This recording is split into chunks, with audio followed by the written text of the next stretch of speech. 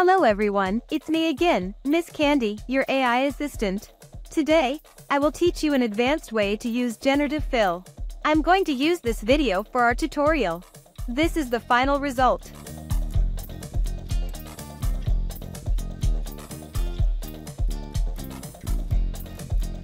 If you like the final result, then continue watching this video to find out how I did it. Let's begin our tutorial now.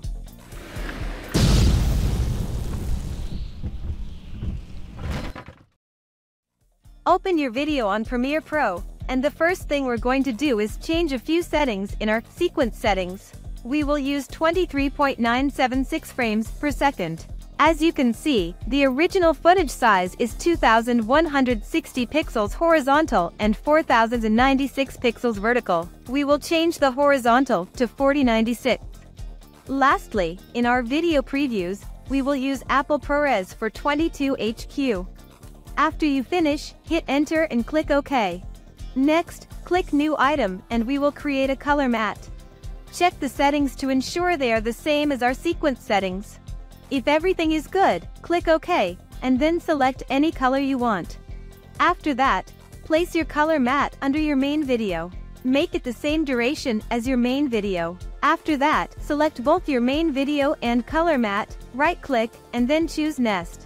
Change its name and click OK. This step is very important for motion tracking. The original video should have the same dimensions as our sequence settings in order to have successful motion tracking. Finally, click Export Frame, choose PNG for high quality, change its name, and click OK.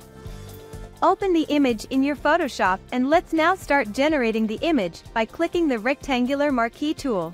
Highlight the green part of the image on the left side to extend the image don't forget to highlight a few parts of the image so AI will have an idea of what to generate. Click Generative Fill and then click Generate. You will be given three different images to choose from. Also highlight the right side of the image. If you don't like any of the three images that AI generated, you can click Generate again until you find the image you want. After you finish generating the base image, let's now add some details to it. Click the lasso tool and highlight the part you want to change.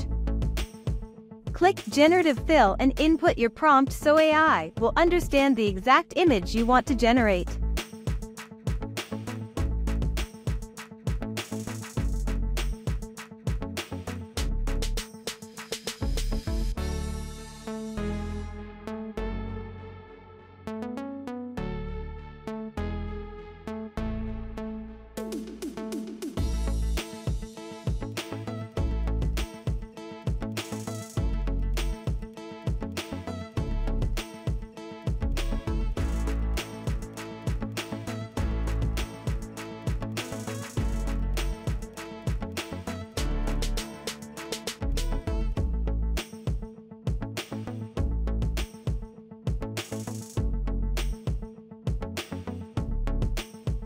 After you finish generating the image, let's rename our layer and put a number in each layer so we will know their order. This is very helpful in applying our tracking motion later.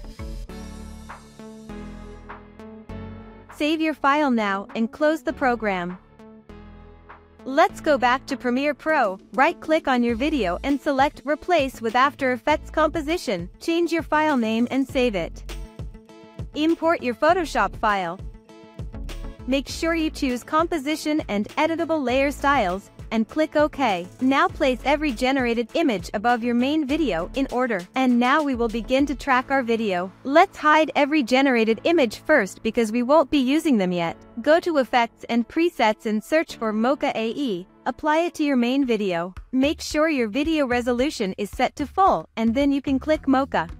To begin our tracking, click the X-Spline Layer tool and select the parts on the left side, ensuring there are no moving objects in the middle of your selection.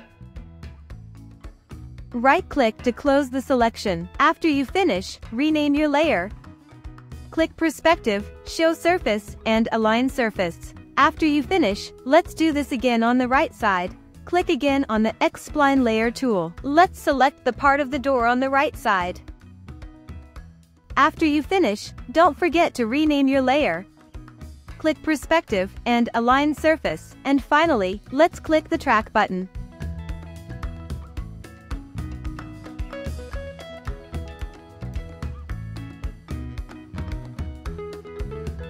After it finishes, save and close the program.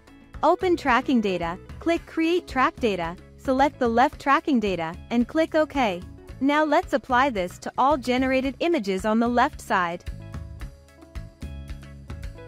If you successfully apply the tracking data, an FX symbol will appear. Let's unhide all the layers on the left side and apply the tracking data.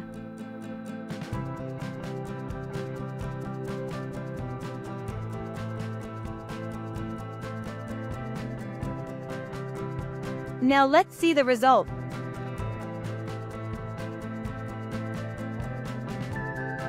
The results are very good. Now let's do the same for the right side. Click Create Track Data, select the right tracking data, and click OK. Apply this to all generated images on the right side.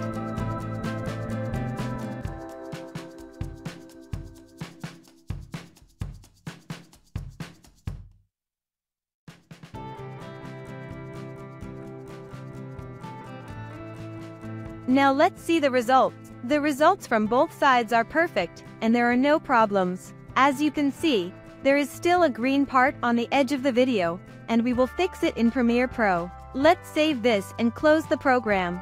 The first thing you should do is duplicate the video layer. Right-click the top video layer and select Render and Replace. Make sure the settings are the same as your sequence, and then click OK. This is very important so we can preview our video quickly. Remember, you cannot edit the original again because you have already rendered this video into one video. That's why we duplicate our video layer. If you need to re-edit your video, just delete the copied video and right-click the original video layer and select Edit Original. Here, you can now edit your video again. Now, let's go back to Premiere Pro. As you remember, earlier the original video dimension was 2160 pixels horizontal and 4096 pixels vertical, and we changed the horizontal to 4096 pixels. However, we will not use everything. We will change it to a 4K resolution for YouTube, which is a dimension of 3840 pixels horizontal and 2160 pixels vertical. This is a perfect size for a YouTube video.